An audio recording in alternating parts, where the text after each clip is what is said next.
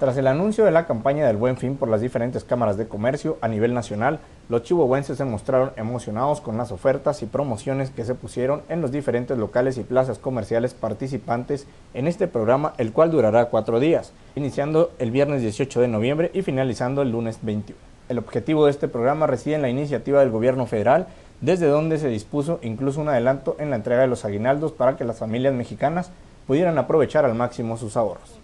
Los establecimientos de la Libra anunciaron sus ofertas y promociones con cartelones y lonas en colores llamativos. Los vendedores y empleados de las tiendas corrían de un lado a otro para ayudar a los miles de chihuahuenses que acudieron a aprovechar estas ofertas. Informó TV Diario.